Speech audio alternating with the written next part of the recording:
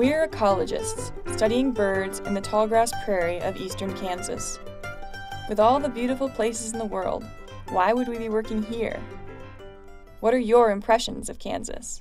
I don't know, it's a small state far away of which we know very little. Flat.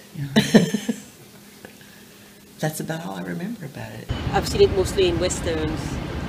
like that's what most people have. And I'm sure it's not like that. It, There was nothing there but the gas station and a bunch of local folks in cowboy hats who had come down to the gas station by the highway, and my impression was it was, it was really the only entertainment in town to sit there and watch the cars that had stopped for gas in Kansas. But those of us who live and work in Kansas see another side. of Kansas isn't flat. We don't have mountains, but um, we do have the only big chunk of tallgrass prairie left, and that's because the Flint Hills are so rugged um, that they couldn't be plowed. It's a big enough landscape that you can get places where there's no sign of people. Kansas is kind of a, a well-kept secret, but it's got some of the most beautiful landscape, I think, in the world, and people are starting to figure that out. I love the tall grass prairie, and I love the diversity of the grasses and the amazing birds that make their homes there. It turns out that making sure prairie can provide good homes for birds is complicated. Although from the interstate they may all look the same, native Kansas landscapes are a mix of woodlands and grasslands of different shapes and sizes. Even within grasslands, there is a lot of variety in vegetation that matters to birds. Grazing and fire have shaped these landscapes for millennia. Along with climate and weather, these factors influence the huge changes we see as plants grow each season.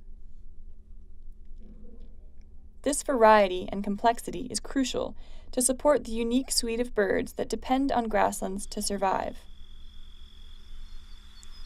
But grassland birds are in trouble. Less than 4% of the original tallgrass prairies remain, and every year more area is converted to croplands. Even where prairie remains, frequent burning and intensive grazing removes that much needed complexity. Our research answers questions about how birds take advantage of these complex landscapes and what we can do to manage and restore prairies to turn around declines.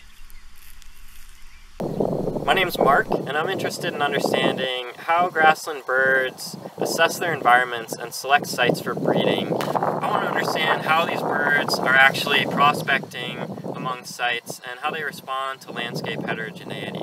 This is going to be really important for us to understand if we're going to successfully mitigate species declines. So I'm conducting surveys from more than 2,000 sites in eastern Kansas and then relating what I find to the surrounding landscape features around each site.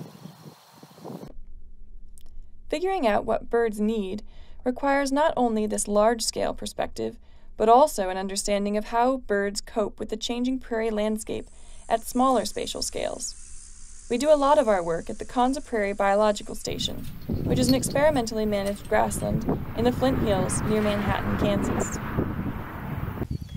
I'm Emily Williams and I'm a master's student, and I'm studying how and why the habitat choices of birds can change even within a single breeding season.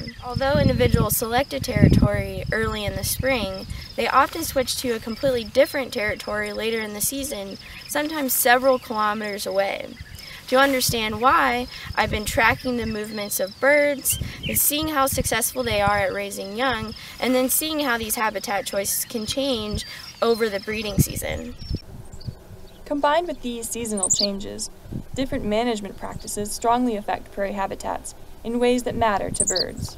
My name is Bram, and I'm studying how rangeland management affects individual life stages of grassland songbirds, from eggs to adults. The habitat that birds decide to build their nest in isn't always the most suitable for young after they leave the nest, resulting in a trade-off in habitat requirements between life stages.